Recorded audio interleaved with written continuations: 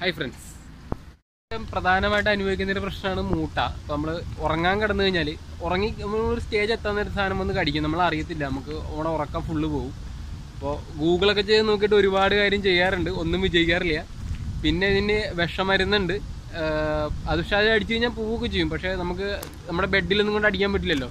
മൂട്ട ഇരിക്കണത് പ്രധാനമായിട്ട് നമ്മുടെ ഈ ഒക്കെ സൈഡിലും ഒക്കെയാണ്. അപ്പോൾ അത് നമുക്ക് എങ്ങനെ അത് ഇനി കൊല്ലാൻ നോക്കാം. സിമ്പിൾ ആയിട്ടുള്ള മെത്തേഡാണ് ഞാൻ കുറേ ഇത് അനുഭവിച്ചതാണ്. അപ്പോൾ അങ്ങനെ ഒരു വെളിച്ചത്തിൽ ഉണ്ടാക്കിയെടുത്തതാണ്. എല്ലാവരും ട്രൈ ചെയ്ത് നോക്കുക. അപ്പോൾ എങ്ങനെയുണ്ട് എന്ന് ഫീഡ്ബാക്ക് താഴത്ത് കമന്റ് ചെയ്യുക. അപ്പോൾ വീഡിയോ കാണാം.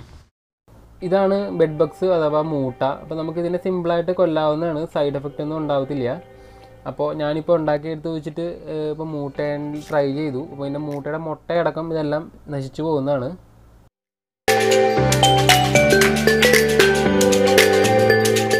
അപ്പോൾ ഫ്രണ്ട്സ് നമുക്ക് ആദ്യം വേണ്ടത് പുതിനയിലയാണ്. പുതിനയില നമ്മുടെ ചായക്കുള്ളിലൊക്കെ ഇടാനായിട്ട് യൂസ് ചെയ്യുന്നതാണ്. ഇപ്പോൾ ഏകദേശം ഒരു കെട്ട് വേണം. ഇതിപ്പോൾ നൂറ് ഗ്രാം എടുത്തുണ്ട് അതിനകത്ത് ഒരു അൻപത് ഗ്രാം എടുത്ത് നമുക്ക് മുറിച്ചെടുക്കണം ചെറുതായിട്ട്.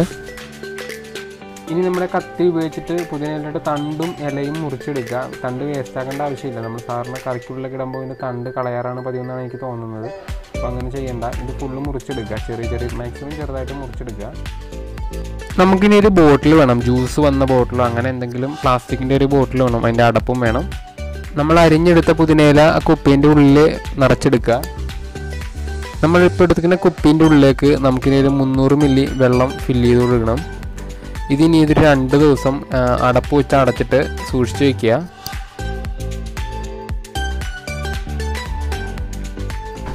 ഇനിയിപ്പോൾ ഇത് രണ്ട് ദിവസം വെച്ച് കഴിയുമ്പോൾ ഇതിന്റെ കളറൊക്കെ മാറി ഏകദേശം ഗ്രീൻ കളറായി വരും.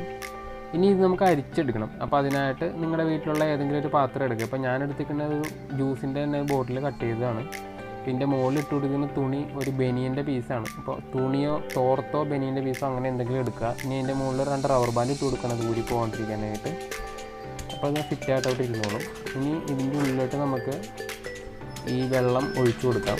അപ്പോൾ അതിന്റെ ചണ്ടി മാത്രം മുകളിലുണ്ടായിട്ട് അതിന്റെ വെള്ളമെല്ലാം അടിയിൽ വരും. സത്തെല്ലാം ഊറി താഴെ വരും. അപ്പോൾ ഇതിന്റെ സ്മെല്ലുണ്ടാവും. ഒരു മിന്റിന്റെ സ്മെല്ലുണ്ടാവും. നമുക്ക് ആ സ്മെല്ലിന് വേണ്ടിയിട്ടാണ് ഇത് ഉപയോഗിക്കുന്നത്. നമുക്ക് വേണ്ടത് സോഡിയം മെറ്റാബൈസൾഫേറ്റ് ആണ് ഇതൊരു ഫുഡ് ഗ്രേഡ് കെമിക്കലാണ് ഇത് മെയിനായിട്ട് നമ്മുടെ വീട്ടിലൊക്കെ വാങ്ങുന്ന അച്ചാറുകളിലൊക്കെ ഇത് ഉപയോഗിക്കുന്നുണ്ട്. ഒരു പ്രിസർവേറ്റീവ് ആണ്. അതിന്റെ ഉപരി ഇതൊരു ഡീക്ലോറിനേഷൻ കെമിക്കലാണ് അതായത് നമ്മൾ ഇതിട്ട് കഴിഞ്ഞാൽ ക്ലോറിൻ ഇല്ലാണ്ടായി പോകും വെള്ളത്തിലെ. ക്ലോറിൻ ഡീക്ലോറിൻ ആയി പോകും അതിനാണ് അപ്പോൾ ഇത് നമുക്ക് സൂപ്പർ മാർക്കറ്റിലൊക്കെ വാങ്ങാൻ കിട്ടും. അതല്ലെങ്കിൽ ഈ അക്വോറിയം ഫിഷൊക്കെ കൊടുക്കുന്ന കടകളിൽ ഇതിന്റെ ലിക്വിഡ് വാങ്ങാൻ കിട്ടും. അതും അല്ലെങ്കിൽ കെമിക്കൽസ് ഒക്കെ വയ്ക്കുന്ന കടകളിൽ ഇത് വാങ്ങാൻ കിട്ടും. ഇപ്പോൾ ഇതിന് രണ്ട് സ്പൂൺ നമുക്ക് ഇതിനകത്ത് മിക്സ് ചെയ്യാം. ടേബിൾ സ്പൂണിന് രണ്ട് സ്പൂണ് മുന്നൂറ് മില്ലി വാട്ടറിലേക്ക് മിക്സ് ചെയ്യാം. അപ്പോൾ ഇതിന്റെ രൂക്ഷ കണ്ടുകൊണ്ട് അപ്പോൾ നമ്മൾ എന്തെങ്കിലും സർജിക്കൽ മാസ്കോ അങ്ങനെ എന്തെങ്കിലും യൂസ് ചെയ്തിട്ട് അല്ലെങ്കിൽ തോർത്തോ എന്തെങ്കിലും മുഖത്ത് ടവലോ തോർത്തോ എന്തെങ്കിലും മുഖത്ത് കെട്ടിയിട്ട് ഉപയോഗിക്കുക. അത് സ്മെല്ല് പ്രശ്നമുള്ളവർക്ക്. ഇപ്പോൾ ഞാനിത് എന്ന് യൂസ് ചെയ്യുന്ന കെമിക്കലാണ്. അതുകൊണ്ട് എനിക്കിതൊരു വലിയ പ്രശ്നമായിട്ട് തോന്നിയിട്ടില്ല. ഇനി ഇത് നന്നായിട്ട് മിക്സ് ആയിട്ട് എടുക്കാം. പെട്ടെന്ന് മിക്സ് ആകും ഇത് വെള്ളത്തിൽ ഇനി നമുക്ക് വേണ്ടത് വിനാഗിരിയാണ്. നമ്മൾ സാധാരണ വീടുകളിലൊക്കെ ഉപയോഗിക്കുന്ന വിനാഗിരി. അതിൽ നിന്നൊരു അൻപത് മില്ലി വിനാഗിരി ഈ മുന്നൂറ് മില്ലി വെള്ളത്തിലേക്ക് ഇടുക. അപ്പോൾ മുന്നൂറ് മില്ലി വെള്ളം എടുത്തിട്ടുണ്ട്. നമ്മുടെ പുതിനയില വെള്ളം എടുത്തിട്ടുണ്ട്. അൻപത് മില്ലി വിനാഗിരി പിന്നെ രണ്ട് സ്പൂൺ സോഡിയം മെറ്റാക്സൾപ്പേറ്റ് ഇതെല്ലാം കൂടി നന്നായിട്ടൊന്ന് മിക്സ് ചെയ്യുക ഇനി അതൊരു സ്പ്രേയർ ബോട്ടിലേക്ക് നിറച്ചെടുക്കുക. എന്നിട്ട് ഇനി എല്ലാ മൂലകളിലും ഒക്കെ അടച്ചു അടിച്ചു കൊടുക്കുക. മൂലകൾ അതുപോലെ ബെഡിന്റെ സൈഡുകൾ ഒക്കെ അടിച്ചു കൊടുക്കുക. ഇവിടെയൊക്കെയാണ് മൂട്ട ഇരിക്കുന്നത് കയറിയിട്ട്. ഇത് രാത്രി കാലങ്ങളിലാണ് പുറത്തേക്ക് ഇറങ്ങുന്നത് മൂട്ട. ഞാനിവിടെ ഗൾഫിൽ ഞാനിവിടെ വരുന്ന സമയത്ത് ഒരുപാട് കാര്യങ്ങൾ ഗൂഗിളൊക്കെ ചെയ്ത് നോക്കി നമ്മൾ ചെയ്ത് നോക്കി. പക്ഷെ ഒന്നും സക്സസ് ആയിരുന്നില്ല. മൂട്ട വരത്തില്ല പക്ഷെ ഇത് ചത്തുപോകില്ലായിരുന്നു അങ്ങനെയാണ് ഈ സോഡിയം മെറ്റാബൈസൾഫേറ്റ് ട്രൈ ചെയ്യണത്. കാരണം ഈ സോഡിയം മെറ്റാബൈസൾഫേറ്റ് ഇരിക്കുന്ന റൂമിൽ ഈച്ചകൾ പോലും വരില്ല. കെമിക്കൽ ഇരിക്കുന്ന റൂമിൽ അങ്ങനെ ഒരു വലിയ പ്രശ്നം ഉണ്ടായിരുന്നു. അപ്പോൾ അങ്ങനെ ഞാൻ ജസ്റ്റ് ഒന്ന് ട്രൈ ചെയ്ത് നോക്കി. ഒരുപാട് കെമിക്കൽസ് ഒക്കെ മാറി മാറി ഉപയോഗിച്ച് നോക്കി. പക്ഷേ ഇതാകുമ്പോൾ ഫുഡ് ഗ്രേഡ് ആയതുകൊണ്ട് വലിയ പ്രശ്നമില്ല. പിന്നെ ഒരു ഒരു മണമുണ്ട്. അപ്പോൾ ഈ കാണുന്ന മൂട്ട എന്ന് പറഞ്ഞാൽ ബ്ലഡ് കുടിച്ചിട്ട് ഇതുപോലെ വണ്ണം വെച്ചിരിക്കുന്നതാണ്. ബ്ലഡ് കുടിക്കാത്ത മൂട്ടകൾക്ക് വണ്ണം ഉണ്ടാവില്ല. ഏകദേശം ഒരു ബ്ലഡ് കുടിക്കാത്ത മൂട്ട ഏകദേശം രണ്ട് മില്ലിമീറ്ററും കുടിച്ച മൂട്ട ഏകദേശം അഞ്ച് മില്ലിമീറ്ററും ഉണ്ടാകും. നമ്മളിപ്പോൾ കാണുമ്പോൾ രണ്ട് മൂന്ന് തരത്തിലുള്ള മൂട്ടകൾ കാണാറുണ്ട്.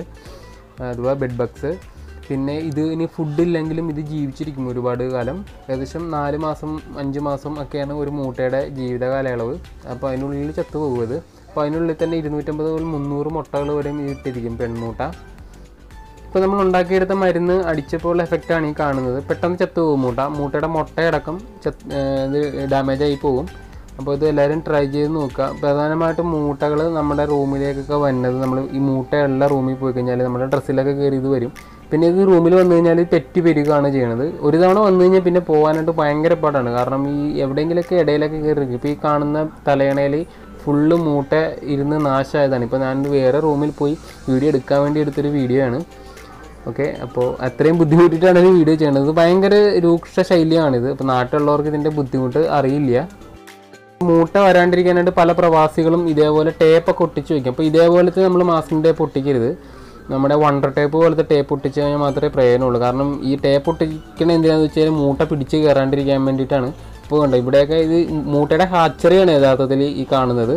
അപ്പോൾ ഇവിടെയൊക്കെയാണ് മൂട്ട പ്രൊഡക്ഷൻ നടത്തുന്നത് അതിന്റെ നമ്മൾ ഉണ്ടാക്കി വെച്ച മരുന്ന് ഈ കാണുന്ന എല്ലായിടത്തും അടിച്ചു കൊടുക്കുക. ഫസ്റ്റ് അടിച്ചു കൊടുക്കുക. അപ്പോൾ ഉള്ള മൂട്ടയൊക്കെ ചത്തിട്ടുണ്ടാകും. എന്നിട്ട് മാത്രം ഇതിൽ പിന്നെ തൊടാൻ നിൽക്കുക. പിന്നെ മൂട്ട ഇതുപോലെ നമുക്ക് പിടിച്ച് കയറാണ്ടിരിക്കുക. അതായത് നമ്മുടെ ബെഡിലേക്കൊന്നും വരാണ്ടിരിക്കാനായിട്ട് നമുക്ക് ഇങ്ങനത്തെ ടേപ്പുകൾ യൂസ് ചെയ്യാവുന്നതാണ്. അപ്പോൾ ഒരിക്കലും നമ്മുടെ മാസ്കിംഗ് ടേപ്പ് ഒന്നും യൂസ് ചെയ്യരുത്. ഇതേപോലെ നമ്മൾ ഈ പാക്കിങ്ങിനൊക്കെ ഉപയോഗിക്കുന്ന ടേപ്പ് യൂസ് ചെയ്യാം. ഇതുപോലത്തെ വൈറ്റ് കളർ ഉണ്ട്. ക്ലിയർ ആയിട്ടുള്ള ട്രാൻസ്പെറന്റ് പോലെയുള്ളത്. അപ്പോൾ അതാണെങ്കിലും പ്രശ്നമില്ല. അപ്പോൾ അങ്ങനത്തെ യൂസ് ചെയ്ത് കഴിഞ്ഞാൽ മൂട്ട പിടിച്ച് കയറണം നമുക്ക് ഒഴിവാക്കാൻ പറ്റും. ഇത് കട്ടിലിന്റെ നാല് മൂലയ്ക്ക് മുട്ടിച്ചു കൊടുക്കുക ഭിത്തിമേൽ അപ്പോൾ ഇത് ഭിത്തിമേൽ കൂടി പിടിച്ച് കയറത്തില്ല. ഇപ്പം നമ്മൾ ഇത് മൊത്തം റൂമിൽ അടിക്കാൻ ബുദ്ധിമുട്ടുള്ള ആൾക്കാർക്കാണ് ഞാൻ പറഞ്ഞത്. അപ്പോൾ ഇതുപോലത്തെ ബെഡിന്റെ സൈഡിലാണ് മൂട്ട ഇരിക്കുന്നത് കണ്ടത്. ഇതിപ്പോൾ തലയണയിൽ ഇരിക്കുന്നതാണ്. ഒരുപാട് മൂട്ടയുണ്ട്. മൂട്ടനെ പിടിക്കാൻ വേണ്ടി മാത്രം ഞാൻ കുറേ അധികം റൂമിൽ പോയായിരുന്നു. അങ്ങനെയൊക്കെ എടുത്തതാണ്. കഷ്ടപ്പെട്ട് എടുത്ത വീഡിയോ ആണ്. അപ്പോൾ ഫീഡ്ബാക്ക് നിങ്ങൾ ചെയ്ത് നോക്കിയിട്ട് താഴത്ത് കമന്റ് ചെയ്യുക. നമ്മുടെ ബെഡിന്റെ ഏതെങ്കിലും ഒരു മൂലയുള്ള ഹോളിൽ കൂടിയൊക്കെ ഇതിന്റെ ഉള്ളിൽ കയറും. അപ്പോൾ ഞാനൊരു ബെഡ് മുറിച്ച് കാണിച്ചു തരാം നിങ്ങൾക്ക്. കണ്ടോ? ചോര കുടിച്ചിട്ട് സൂചിച്ചിരിക്കുകയാണ് ചോര കുടിച്ച മൂട്ടയാണ് വലുത്. ചോര കുടിക്കാത്ത മൂട്ടയാണ് ചെറുതിരിക്കുന്നത്.